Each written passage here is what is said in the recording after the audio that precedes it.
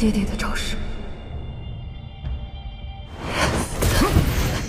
这荒渊，相较万年之前，荒凉落寞了许多。你怎么会知道荒渊万年前的样子？你是在质疑我吗？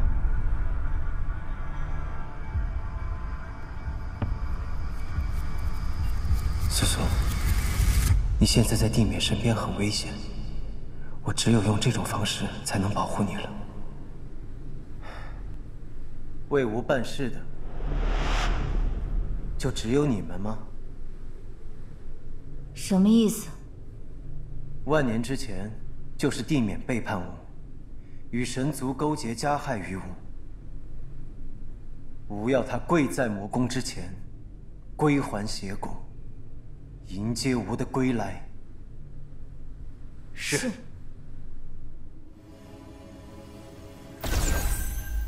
师傅，在荒原外监视的弟子回报说，小师弟确实在荒原。他看起来怎么样？他们传回的原话是，两个魔头对他毕恭毕敬的，看起来像是他们的主子。这事情先别告诉他人，九民一定有他的计划。嗯。不过现在众仙门已经由赤霄宗那群鼠目寸光之人所掌控，能够相信他的，只有我们了。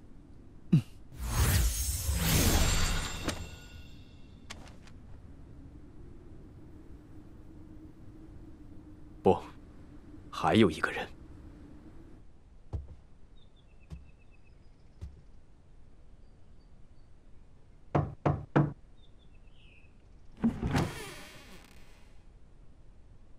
苏苏，父亲，您身上的伤如何了？我听师姐说，您的伤都是自己处理的。我学过疗愈之术，正好帮您看看。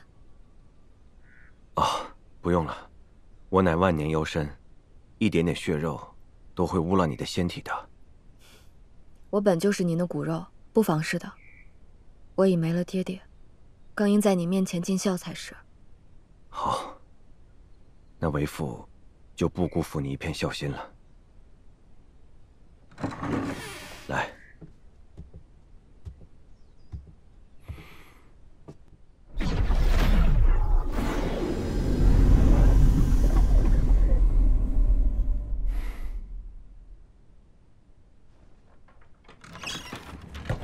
这血肉模糊的，恐怕会吓到你。怎么，父亲的伤还有什么见不得人的吗？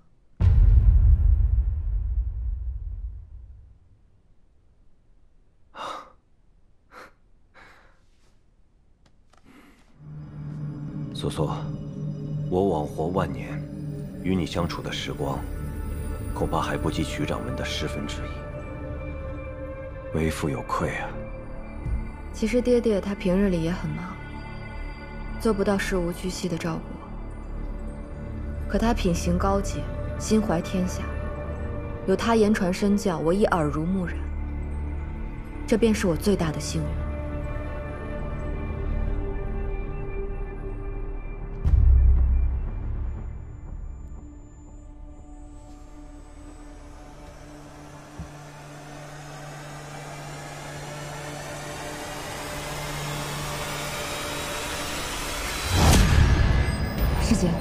你验过我父亲的伤了吗？他当真是被斩天剑所伤。王之主说他乃万年妖身，需用他自身妖气疗养，所以我不曾验看。这伤痕是爹爹的招式。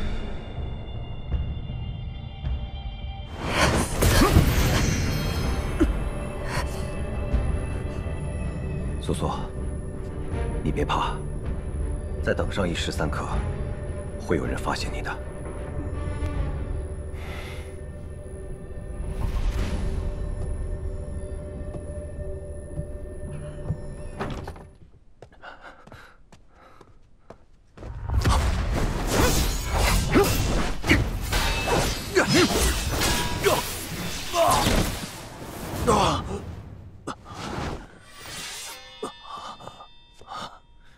地面，你还要往哪里逃？哼原来我那好女儿与你谋划好了要给我设套。